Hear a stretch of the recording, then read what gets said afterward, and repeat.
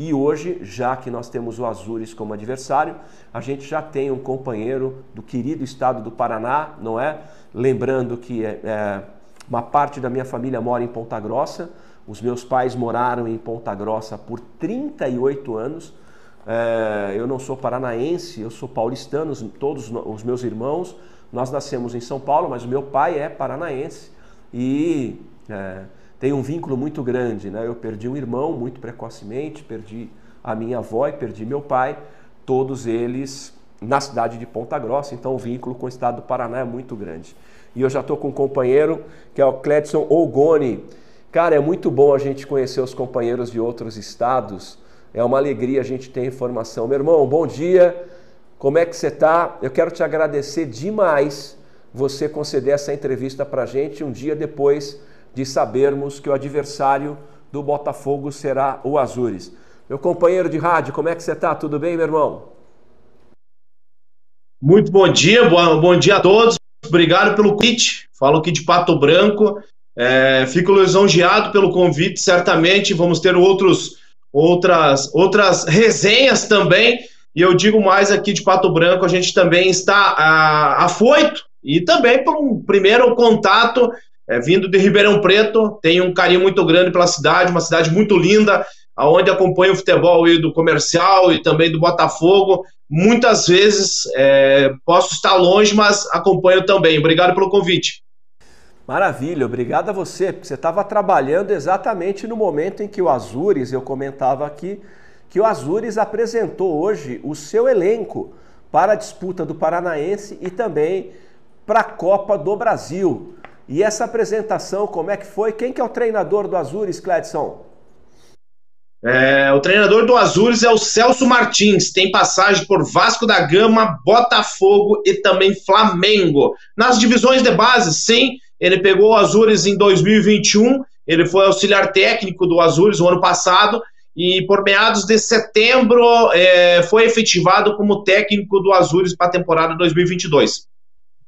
Bem, e o elenco que foi apresentado aí tem tem bons jogadores, tem novidades nesse elenco que foi apresentado agora de manhã?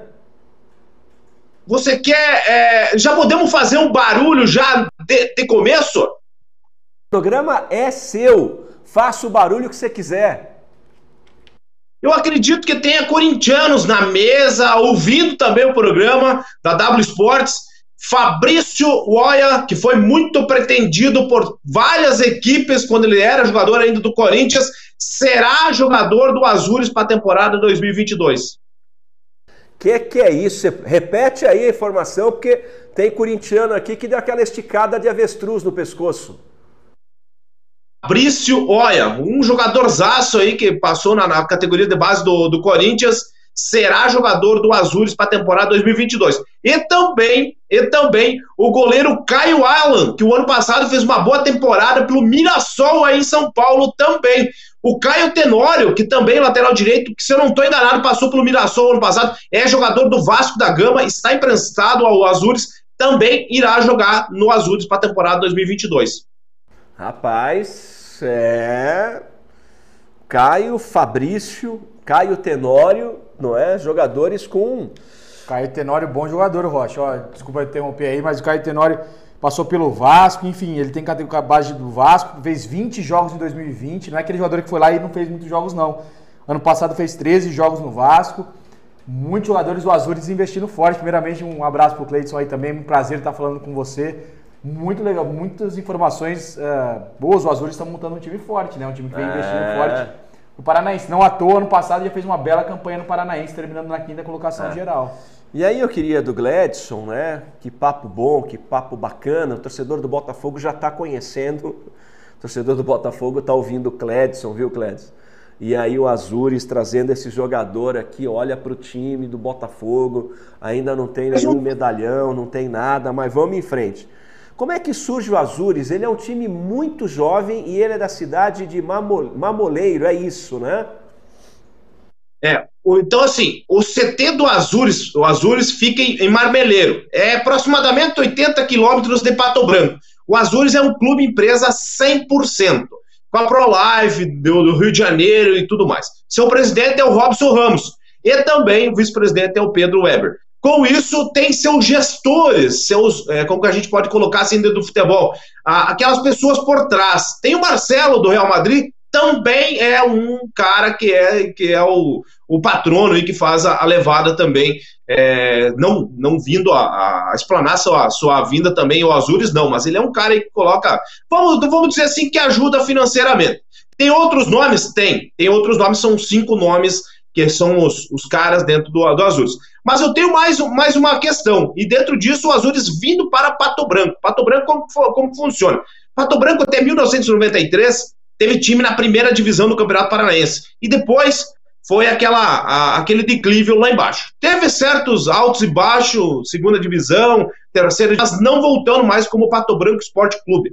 E vindo o Azures desde 2020, aonde já em 2020 campeão da segunda divisão, e 2021 quinto lugar no Campeonato Paranaense e já tem aquela vaga para a Copa do Brasil também, pelo, pelo Atlético ser campeão da Sul-Americana, abrindo essa vaga, essa quinta vaga para o, o Azures. Mas, um detalhe, uh, o Azures tem seu, seu semblante de construção. O Azures tem um, já também uma, um clube é, em Portugal, outros, outros braços também abrindo sobre o mundo do futebol, que a gente sabe que é um mundo aí que a gente é, conhece tem várias, várias estradas também. E eu tenho um outro nome aí no elenco do Azures. A hora, a hora que você quiser aí, eu coloco. E um nome aí, ó, que jogou o Campeonato Brasileiro ano passado. Opa! Então nós já temos aqui, ó, o Caio Tenório, o Fabrício, o Caio Alan e tem mais um. Conta aí pra gente, quem é esse? Toda janela, até eu fiz a pergunta para ele na, na, na da apresentação agora, agora há pouco, toda a janela ele estava com o nome vinculado em algum clube brasileiro.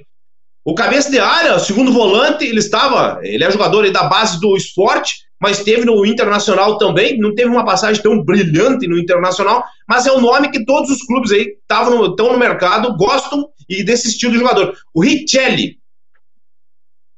Richelli é bom jogador Olha, também, Rocha. Richelli, 30 anos. Eu não, vou, eu não vou falar, viu? Eu não vou falar Cledson, o que o meu, o meu, o meu, o meu, o meu repórter e comentarista aqui, o João, quando você falou Richelli, ainda bem que o microfone dele estava fechado. Claro que tava, né? É, porque ele falou um palavrão. Abre as três telas para mim, Vini, para a gente conversar os três. A gente vai, vai, porque aí a gente se vê nas três telas. Ele falou um palavrão que eu não posso falar aqui e logo em seguida o palavrão ele falou puta jogador esse, hein? É isso, João? Richelli é bom jogador, Rocha. Estava Atlético Goianiense, para você ter uma ideia. É, enfim, é, passou por lá também, fez dois gols, tá? passou pelo esporte Inter de Porto Alegre em 2019. É um cara que fez uma carreira muito grande no esporte Recife, experiente, 30 anos, para volante, é um baita de um jogador o Richelli. É assim, eu, eu coloco muita esperança nesse atleta. Se viesse para cá, a gente acho que ele, iria elogiar muito a contratação do Richelli.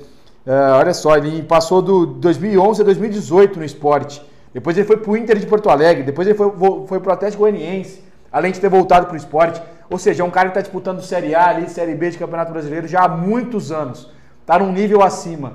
E agora chegou a Azures para contratar o, o Richelli, que é um baita do jogador.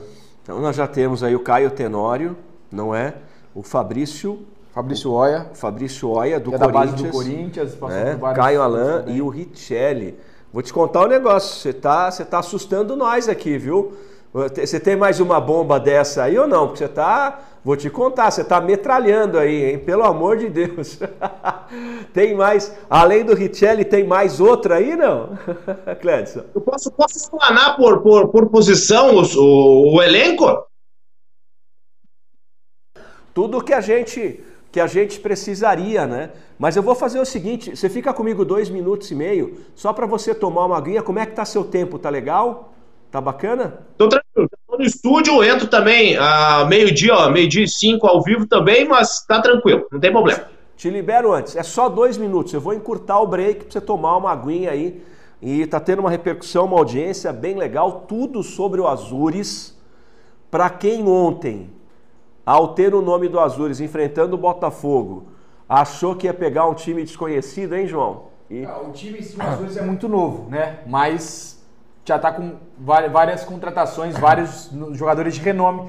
vem forte, vem financeiramente forte o Azures para essa temporada, tudo indica. Olha, com exclusividade as informações da W Sports, exclusividade total de informações sobre o adversário do Botafogo na Copa do Brasil. Nós estamos é, falando muito porque são do, mais de duas décadas sem Copa do Brasil.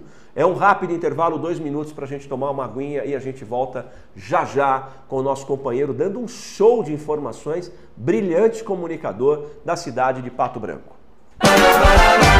Limpe Lente, hidratação pra sua lente. Limpe Lente, proteção pra sua lente. Limpe Lente, Limpe Lente pra cuidar da sua lente. Limpe Lente, Limpe Lente. Limpe Lente, limpeza profunda, hidratação, desinfecção e muito mais proteção no cuidado com suas lentes de contato. Para cuidar bem dos seus olhos. Limpe Lente. Vita Medic.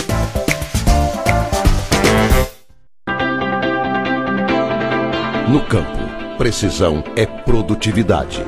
E alta precisão é com a Agrimac. O que existe de mais inovador, seguro e econômico para reformar pneus, você só encontra na Agrimac. É a tecnologia do futuro para produzir os melhores resultados hoje. Agrimac Pneus. Quase 70 anos em Ribeirão, cuidando da sua obra ou reforma com atendimento personalizado, entrega rápida e o melhor preço da região, sempre com produtos de qualidade. Na Balau você encontra tudo para a sua construção, desde tábuas, formas e compensados, pisos laminados e vinílicos, telhas, uma linha incrível em portas e fechaduras super modernas, forros para teto, além de tudo em gesso para drywall. Balau do início ao acabamento, tradição que vai muito além de madeiras. Estamos de volta! O Zé Balbino. Rocha, deixa eu falar. Se tivesse jogando bem, esses jogadores é, não estariam no time do Pato Branco, igual o Botafogo, ou pior, não sei, hein? É, Zé. Hoje, é isso aqui, ó. É, Se que importa. pagar o salário do cara, ele Ô vai. Zé, com o Botafogo querendo pagar 13, 14 mil reais de salário, você não vai ter jogador dessa estampa, não, cara. Então, assim, é, e os caras, os caras do Azures estão pagando. Então, aí, meu irmão, é dinheiro. Ah, o Botafogo é um clube centenário, né? O BFC, não o BSA, né? É, porque é- é- hoje é o BSA. Meu, se o time do Azures, mesmo jovem do jeito que é, tá pagando o que o cara quer, meu irmão, o cara vai para Azures, o cara não quer saber de tradição, ele quer receber em dia e receber o que ele, o que ele, o que ele gostaria de receber. Cletson, vamos mudar. Obrigado por você ter esperado, muito obrigado. Vamos dar uma olhada então. Como é que é a estrutura desse time? Quero te parabenizar, porque você é um baita de um comunicador. Você fala muito fácil, hein? Você é repórter e narrador ou só repórter? Eu sou repórter, é, narrador não ainda, não tenho todo esse, gabarito ainda, mas um dia eu chego lá, não tem problema. São, são ó, anos aí dentro. Nisso, pensa nisso que você fala muito bem suas palavras. Você fala muito bem, hein? Você tem uma oratória perfeita. É, então já pensa nisso aí a, a- a- curto e médio prazo. Vamos lá com essa base é, oficial do Azures para o Paranaense e para a Copa do Brasil, Cledson. Dentro disso, o Azures vindo com a sua, o seu elenco. Os goleiros Matheus, do Juventude, vindo do Juventude do Rio Grande do Sul. O Cão, já comentamos aí, do Mirassol. E o Jonathan, vindo do Inter de, de- do Rio Grande do Sul, é, do Inter de Lages. É, também os defensores, o Kevin, vindo do CSA. O Williams Bahia, vindo do Náutico, Pernambuco. O Caio Tenório, que já comentamos. Aí ficou a base do ano passado. A defesa praticamente inteira ficando do ano passado. O Igor Bossel, lateral direito. O Salazar, ex-Paraná Clube, ficando também para a temporada, é o capitão da equipe. É, e o Guarapuava, também outro zagueiro. Vindo também é, o Saulo, vindo também da equipe do, do é, Manu Ari, é, de Manaus, de, da, de Manaus mesmo, vindo lá de cima. Essas apostas que as equipes têm também. Com o Gabriel Forneri vindo do Atlético Paranaense também. Aí o meio-campo, ficando do ano passado já remanescendo. O Fábio, ex-Ipiranga também, já re- remanescendo em 2021. O Natan também jogou o ano passado. Também o Heverson, ex-Ipiranga. Ele foi campeão pelo Pato Branco Esporte Clube em 2009, voltando a Pato Branco nesse ano de 2022. O Richelli, que a gente já comentou, o Leonardo, do Angra dos Reis, do Rio de Janeiro, e o Fabrício Oia, que a gente já comentou também. Os atacantes, o Lucas Vieira, que estava no Juventude, que é remanescente também de 2021, o Rony, Rony, ele vem do Brasil de Pelotas, jogou a, a segunda a, a Série B o ano passado, o Rosenberg, vindo da Ferroviária de, do Ceará, fez um bom campeonato ano passado também na série, na série C, se eu não estou enganado. O Matheus Guimarães, vindo da Ponte Preta, um atacante de beirada e muito bom jogador também. O Wellington, vindo do Atibaia. É, o Juan, o Juan é, ele está no scout como no Grêmio, do Grêmio de Porto Alegre. Só que ele é jogador do Azures. Ele estava emprestado no Campeonato Brasileiro 2021 e retorna ao Azures também. É, vindo também é, do Nova Mutum, o José, e daí os meninos da base, que são o Christian e o Felipe. Muito bem, olha, muito bem, vai ser um belo desafio, um belo desafio. Pois não, João? Não, peguei o time inteiro, é isso mesmo. Eu queria perguntar pro, pro Cleiton, é, qual que é o objetivo do Azures hoje, né? Como que o time se vê? Afinal de contas, um time nascido em 2018, já está numa Série D de Campeonato Brasileiro, já conquistou uma quinta melhor campanha no Campeonato Paranaense, acabou eliminado nas quartas de final pelo Operário. Uh, e agora vai disputar uma Copa do Brasil em um espaço curtíssimo de história. Esse time é para manter essa, como é que eu posso dizer, essa, essa alavancagem, né? essa, essa subida tão rápida assim para logo chegar numa Série C, numa Série B? Ou você acha que, uh, enfim, como é que está a montagem desse, como é que está esse elenco? Não o elenco em si, mas os, as pessoas que estão investindo, é para continuar subindo tão rápido dessa maneira, o Cleiton? Por exemplo, vou dar um exemplo aqui exemplo, do, do Luverdense. O Luverdense veio, subiu, disputou série, é, campeonatos maiores, Série B, Copa do Brasil, e depois deu uma baixada na bola. O que, você vê do Azures em relação a isso? Vocês podem printar o que eu estou falando agora. Não leve por surpresa daqui uns dias, que a gente não sabe esses dias quando será. O Marcelo, lateral esquerdo, vira jogar no Azures. Ponto. O Azures, o objetivo do Azures, até o presidente Robson Ramos, agora na apresentação, agora cedo, é, comentou sobre a pergunta parecida que o João está fazendo. O Azures 2030, o objetivo do Azures é estar na Série B do Campeonato Brasileiro e fazendo o trampolim para a primeira divisão. Não é a curto prazo, a gente sabe que tem essa necessidade de, de, de trabalhar dia após dia. O Azures tem um CT de quase sete campos, já está com o objetivo de mais campos também uh, no Azures. O Azures tem é, em torno de 80 funcionários, com atletas e funcionários na, no CT é, em Marmeleiro, CT Gralha Azul, vindo a ficar no cenário do futebol. Bom, e, em questão de estádios, né? A gente sabe que o time joga no estádio Os Pioneiros hoje, né? Um estádio até certo ponto acanhado, né? Um estádio que tem uma parte só de arquibancada. Como é que você, como é que você vê? O Azures tem uma projeção também de ter o seu próprio estádio, construir um estádio maior ou ainda não? O Azures tem um. Eu posso explanar que o Azures tem um caixa. Um caixa. O Azul tem o objetivo de fazer um CT, primeiramente, em Pato Branco.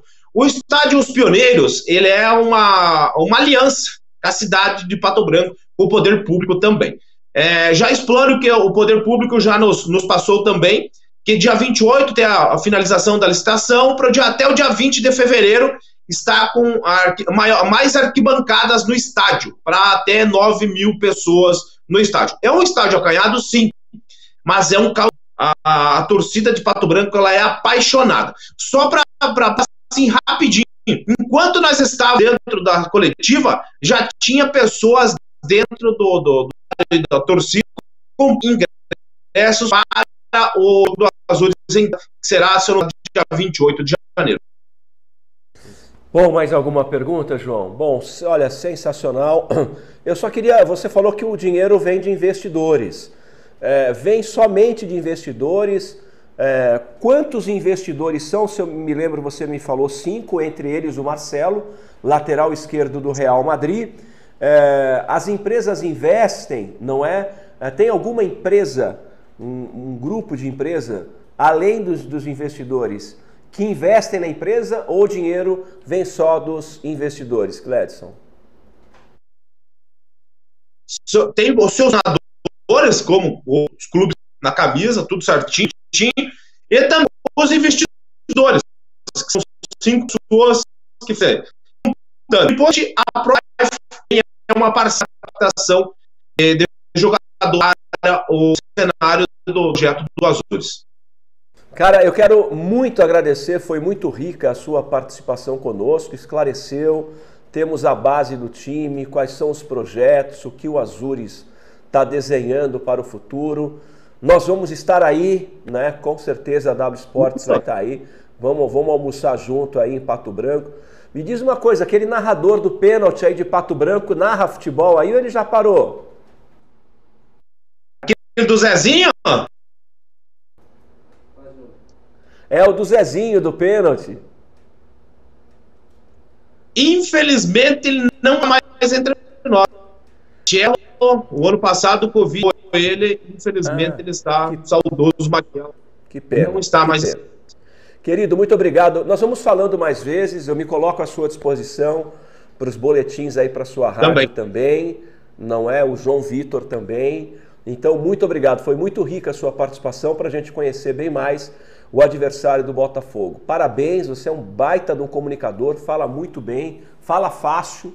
Então, parabéns aí pelo seu trabalho e dê um abraço nos companheiros da sua rádio aí na cidade de Pato Branco, tá bom? Muito obrigado, Cledson.